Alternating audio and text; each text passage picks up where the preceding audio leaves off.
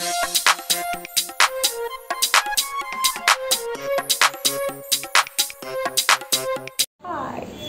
Hi friends, welcome to this Sakru. Geshing to another night about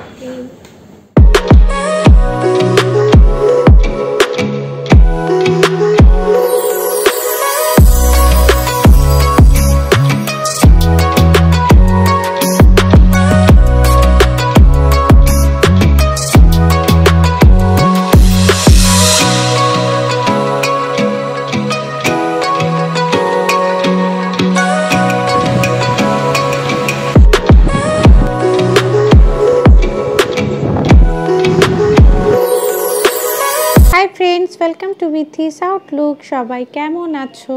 আমি ভালো আছি। এখন আমি বানাচ্ছি সন্ধ্যাবেলায় সুজির হালুয়া, আর এই দিকে ছোলা ভিজিয়ে রাখব কালকের রান্নার জন্য। তো আজকে সুজিটা একদম সিম্পল বানিয়েছি, আর ভাবলাম এখনই শুরু করে দিই আমার ব্লগটা সুজি ভাজা দিয়ে। তো সুজির আমি আর দেখালাম না সুজির রেসিপি তারপরে জানি না আজকে কতটা ব্লগ করতে পারব। রাত্রিবেলায় একটু কাজ আছে আজকে। তো যাই হোক, আজকে সুজিটা বানাচ্ছি। আর একদিন এই রেসিপিটা অবশ্যই শেয়ার করব। যারা নতুন নতুন রান্না করছ, আশা করি তাদের খুব কাজে লাগবে। আর যারা মিষ্টি খেতে ভালোবাসো, তাদেরও।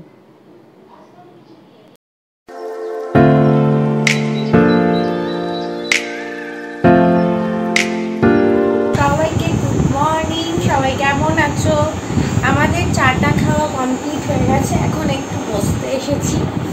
আর কারণ হলো আমি ছাড়া বাড়িতে সবাই খুব দেরি করে উঠেছে। আর আমার তো ঘুমোয়নি রাতে। হ্যাঁ এটা ঠিক। আমার মেয়ে রাত্রে কালকে সারা রাত ঘুমায়নি সেই জন্য ওর আজকে সকালে ওঠা হয়নি। তা না হলে ও সকালেই ওঠে। আর এখন একটু বসবো তারপরে যাব রান্নাঘরে। এখন আমরা বসে বসে কিছুই করছি না। সাত সকালে উঠে একটুখানি গল্প করছি। সাত সকাল? আটটা সাত সকাল? এখন আটটা বাজে। আট সকাল। এখন যাব আট সকাল হ্যাঁ। এখন যাব আর কি রান্নাঘরে বললামই তো তোমাদেরকে। আজকে টিফিন বানাবো ছোলার ঘুগনি। ছোলার ঘুগনি মানে যেই ছোলা পাখিতে খায় ওই ছোলা। ঘুগনি বানাবো আজকে। আর রাত্রিবেলায় তো সুজি করলাম। তোমাদেরকে তো দেখালামই সুজিটা আর কি। তো সুজি, ছোলার ঘুগনি আর সঙ্গে হচ্ছে ব্রেড। এটাই হচ্ছে আজকের টিফিন। আর দুপুরে কি করব সেটা আমার কয়েকটা ডিম আছে, সেদ্ধ করা। দেখা যাক। তারপরে আর আমি ভাবিনি আজকে কি করব। কারণ আজকে সবজিও কেটে রাখা হয়নি। আর ইনস্ট্যান্ট কিছু করব আর কি ইনস্ট্যান্ট যা করা যায়। তাই ভাবলাম এখন একটু বসে বসে আড্ডাই তারপরে যাব। ওই যে তোমাদের সাথে শেয়ার করেছি। আমার ফোর বার্নার গ্যাস ওভেন, ওইগুলোতে চাপিয়ে দেবো, ব্যাস, ফটাফট করে দেবো। এখন একটু রেস্ট আছি রেস্ট আমি বানাবো দুটো চাটনি আর ভাবলাম তোমাদের সাথে এই রেসিপিটা শেয়ার করি। তো প্রথমেই আমি কড়াইতে নুন আর জল দিয়ে এখানে রাখা আছে আনারস। আনারস দিয়ে দিলাম। আনারসটা ভালো করে সিদ্ধ হয়ে গেলে এটা নামিয়ে নিয়েছি আর এইভাবে এগুলোকে ম্যাশ করে নেব। তবে কেউ যদি চাও তোমরা এটা কিন্তু মিক্সিতেও পেস্ট করে নিতে পারো, কিন্তু আমি করিনি। আর এখানে তেঁতুল ভিজিয়ে রেখেছিলাম। এই তেঁতুলটাও ছেঁকে তেঁতুলের জলটা আনারসের সাথে মিশিয়ে দেবো। আর যে ওয়েস্ট হওয়া তেঁতুলটা, এটা আমি ফেলব না। আমার বাড়িতে যে কাঁসারের বাসন থালা আছে, সেগুলো মাজার জন্য আমি এগুলোকে রেখে দিই। এরপর যাই হোক, আমি কড়াই বসিয়ে দিয়েছি। আর কড়াইতে তেঁতুলটা যে পেস্ট করে দিয়ে দিলাম, এই দেখো। এই খোসাটা, এই খোসাটাই রেখে দেবো। তারপর কড়াইটা গরম হলে কড়াইতে দিয়ে দেব খুবই সামান্য একটু তেল, খুবই সামান্য মানে না মাত্রই তেল। দেখো তোমরা বুঝতেই পারবে, এটা সাদা বা সর্ষের যে কোনো তেলই দিতে পারো, কিন্তু আমি এখানে সাদা তেল ইউজ করেছি।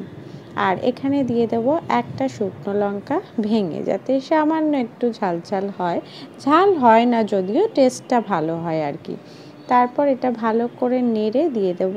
এর মধ্যে আনারস আর তেঁতুলের কাঠটা আনারসটা এইভাবে দিলে আমরা খেতে ভালোবাসি, কিন্তু তোমরা ওই যে বললাম পেস্ট করেও দিতে পারো। তারপর দিয়ে দেবো পরিমাণ মতো চিনি। চিনিটা আমরা যেরকম মিষ্টি খাই, এই ছোট্ট কাপের দু কাপ দিয়েছি।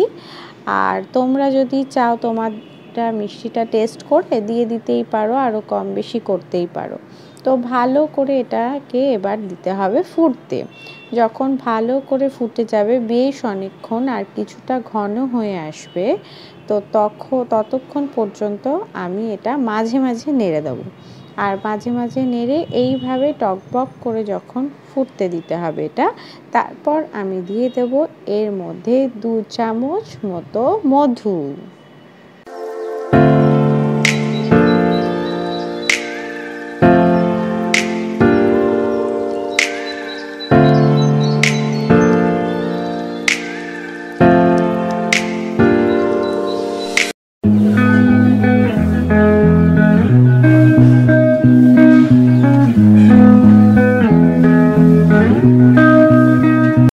চাটনি হয়ে গেছে। আর তোমাদের একটা কথা বলে দিই, যেহেতু আমি তেঁতুলের চাটনি করলাম, দেখো আমার কড়াইটা কিন্তু একদম হয়ে গেছে ঝকঝকে।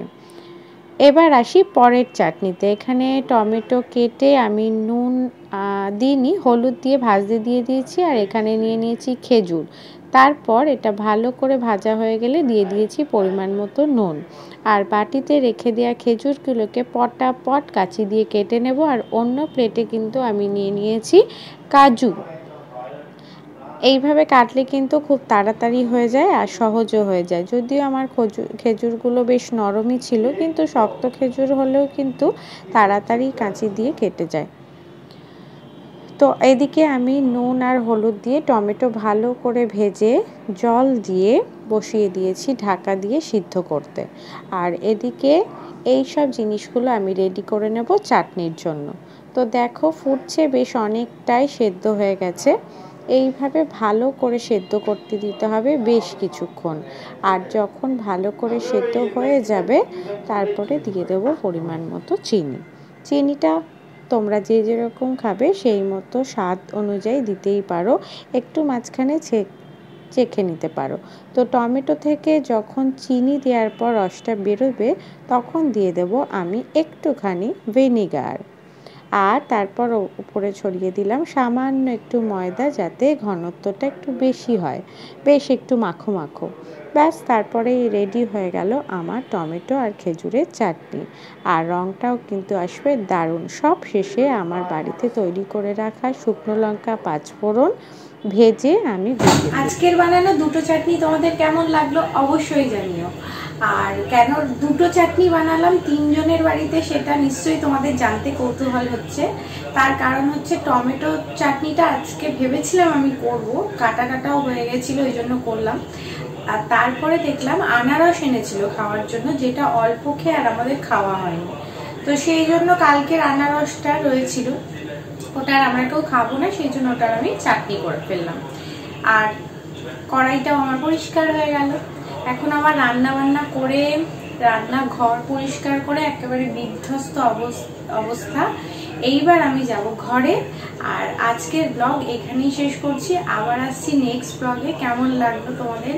ওই যে বললাম, দুটো চাটনি কেমন লাগল অবশ্যই কিন্তু জানাবে। ওয়েট করব। এখন সবাইকে খেতে দেব। একটু পরে খেতে দেবো। এখন খাবে না। আমার মেয়ের অনলাইন ক্লাসে ব্রেক হলে তখন খাবে। তো আজকে টাটা।